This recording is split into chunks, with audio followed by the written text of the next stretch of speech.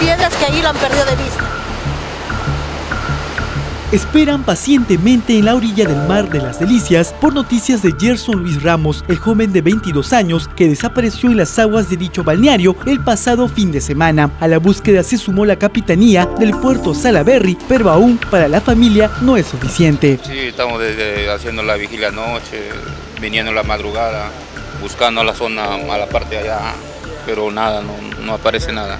Recién la Marina está tomando, la Capitanía de Puerto está tomando Sí, hoy día, sí, recién, porque ayer nos pidieron la información, las características para que hagan hoy día, según ellos dicen. Pero usted no, hasta ahora no ve movimiento. No, no hay, no hay nada. En tanto, la madre del infortunado refirió que pese a que pasaron varias horas del hecho, la versión dada por los testigos se contradicen. Por ello, ella pide que el primo y los dos amigos que estuvieron con su hijo digan la verdad de cómo sucedieron los hechos. No, ahí está porque está escrito. Uno de ellos declara una cosa y el otro no quiere ni siquiera identificarse. Entonces yo no, no, no sé qué pensar, no entiendo. Yo no los estoy culpando, yo digo que ellos lo hayan asesinado, que lo hayan matado. Pero yo quiero saber qué es lo que ha pasado porque una ola no lo va a arrastrar de frente al fondo y se va a desaparecer mi hijo. Si una ola te arrastra, pues yo corro, soy, soy su amigo, somos tres, corremos a jalarlo, corremos a sacarlo.